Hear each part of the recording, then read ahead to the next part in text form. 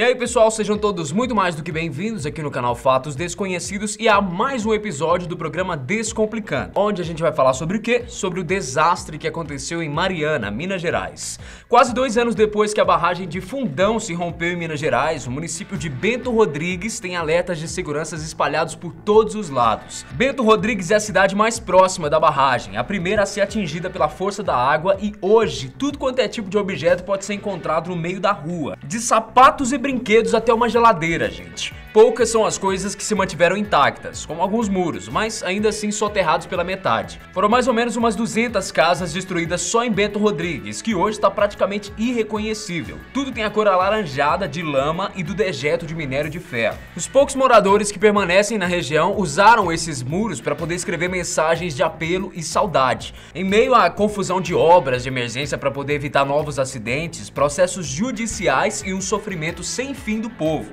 Hoje aqui no Descomplicando eu vou te contar o que aconteceu e qual foi o desfecho do desastre de Mariana. Eu sou o Guilherme Marques e seja mais do que bem-vindo aqui ao canal Fatos Desconhecidos.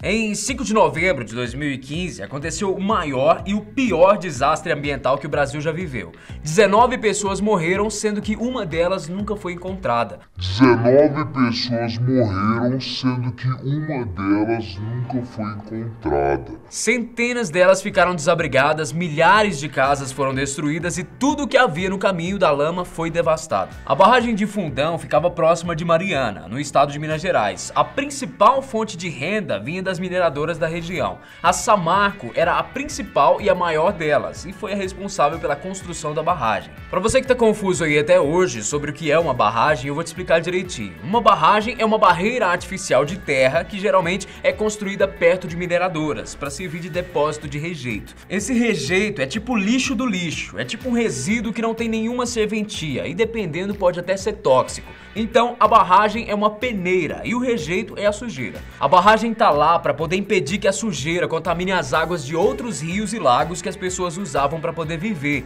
Era um lugarzinho onde a água podia ficar bem sujinha que não ia incomodar ninguém. Só que não, né, gente? Era uma quinta-feira, 4h20 da tarde, quando a barragem se rompeu e milhões de metros cúbicos de água e rejeitos passaram como um tsunami, destruindo tudo que tinha no caminho. Às 5 horas da tarde, 40 minutos depois do rompimento, o município de Bento Rodrigues, que ficava a 10 quilômetros da barragem, estava coberto de lama e completamente devastado. Completamente devastado. No dia 6 de novembro, às 2 da manhã, menos de 24 horas depois, a lama chegou à cidade de Barra Longa, que ficava a 60 quilômetros de Mariana. E no dia seguinte, o rejeito de minério, a lama, os animais mortos, os pedaços de casas, árvores e tudo o que a força da água levou junto chegou até o Rio Doce, um dos principais rios do Brasil e que deságua aonde? No Oceano Atlântico. Eram toneladas de lixo se arrastando numa avalanche sem controle. Gente, o estrago ao longo do caminho foi tão grande que a lama comprometeu até o funcionamento de uma usina hidrelétrica. Essa usina aí, inclusive conhecida por Candonga, tem 10 milhões de metros cúbicos de água parados nela e nada voltou a funcionar até hoje. Nada voltou a funcionar até hoje. Cinco dias depois, no dia 10 de novembro, a lama já tinha viajado por uma distância de mais de 500 quilômetros ao longo do Rio Doce e atravessou a divisa do estado do Espírito Santo. No dia 5 de dezembro, 30 dias depois do rompimento da barragem de Fundão, em Mariana, a lama já tinha atingido o Oceano Atlântico, contaminando uma área de 168 quilômetros quadrados de praias do Espírito Santo. Uma medição feita em julho de 2016 mostrou que mais de 40 milhões de metros cúbicos de lama foram despejados entre as barragens de Fundão e o Oceano Atlântico. 25 milhões desses apenas entre o primeiro município atingido, Bento Rodrigues, e a usina de Candonga. Mas e agora? Como é que o povo vai limpar tudo isso? Para começar aqui, a maior parte da lama e sujeira já secou. Faz quase dois anos que o acidente aconteceu e até hoje a Samarco, a dona da barragem de Fundão, não deu um jeito em nem metade do estrago deles. A cidade de Barra Longa e a usina de Candonga foram os lugares onde mais tiraram lama. Mas ainda falta muita coisa. Aí você deve estar se perguntando a mesma coisa que eu tava me perguntando nesse momento. Se eles estão tirando a lama de um lugar, é lógico, é óbvio que eles têm que levar essa lama para outro lugar. Mas para onde eles estão levando? Em Barra Longa, por exemplo, a Samarco mandou tirar a lama da cidade e despejar novamente numa fazenda bem ali pertinho. E também no terreno que deveria ser o parque de exposições da cidade. Se você não viu problema nenhum nisso, o Ibama viu. Uma multa de um milhão de reais entrou para conta da Samarco porque ela teria escondido um documento que mostrava esse lugar que eles usavam para descarte. Mas a sujeira, gente, não é o único problema. As pessoas que sobreviveram ficaram sem casa, sem trabalho, sem roupas para vestir, sem ter onde dormir, sem comida, sem água, sem nada. As pessoas nas mais de 40 cidades atingidas pelo mar de lama não sabiam nem por onde recomeçar, porque a cena era de um completo caos. A dificuldade que a própria Samarco arrumou para poder arcar com as responsabilidades do que tinha acontecido era inacreditável. Na verdade, é inacreditável até hoje o pouco caso que eles fazem da vida de milhares de pessoas. O rombo no capital da empresa foi tão grande que no fim eles disseram que não tinham dinheiro suficiente para poder pagar todas as multas e indenizações a curto prazo.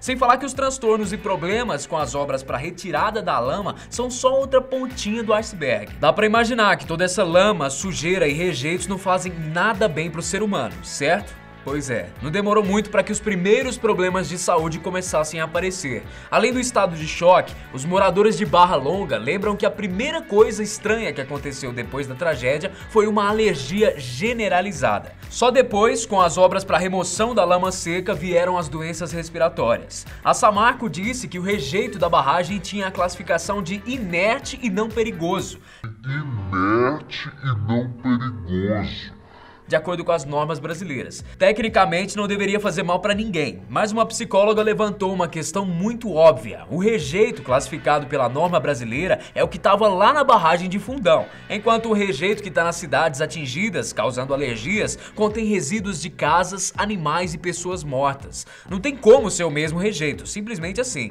No dia 18 de novembro de 2016, pouco mais de um ano depois da tragédia, a Justiça Federal aceitou a denúncia feita pelo Ministério Público Federal que acusava 22 pessoas e as empresas Samarco, Vale, BHP Billiton e Vogue BR pelo rompimento da barragem de Fundão.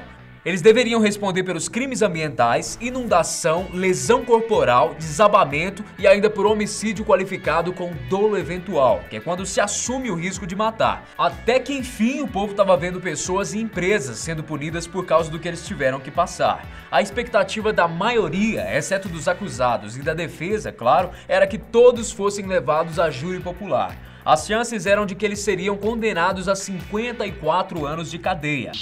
54 anos de cadeia e não sem pagar multas e reparar os danos causados às vítimas e também ao meio ambiente. O sentimento de justiça não durou muito tempo. No comecinho de agosto de 2017, a Justiça Federal suspendeu, anulou e apagou do mapa a ação criminal que acusou todos os culpados. Suspendeu, anulou e apagou do mapa a ação criminal que acusou todos os culpados. Ninguém mais seria preso ou punido pela falta de responsabilidade com a vida de tanta gente e da natureza, né? Por que isso aconteceu?